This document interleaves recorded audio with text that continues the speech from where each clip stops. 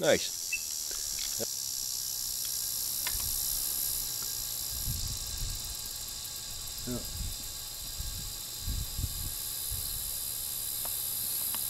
Put a hole in her. Nice. Whatever. Nice. That's the Bar Barnett Wildcat 2, everybody. Some slow-mo here for you. But check this out. Oh, look.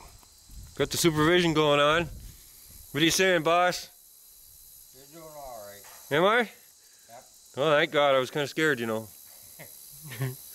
right on.